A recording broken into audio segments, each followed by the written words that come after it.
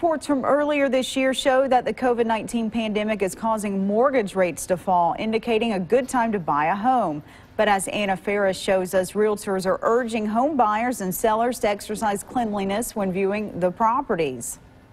With the easy transmission of germs and the threat of COVID-19 in our state, Homeowners are asking buyers to take extra precaution once they enter the house. Realtor Laura Brownlee says buyers never know who could be walking into their house, so most sellers now leave special instructions for house tours. We're asking that our sellers provide sanitary items for the um, buyers that are coming in to look at their home, that they have some sort of sanitizing wipes for them to use, maybe hand sanitizer. Some are asking that they take off their shoes at the front door or put booties on. Brownlee says this is all about protecting the homeowner and anyone else who walks through their door.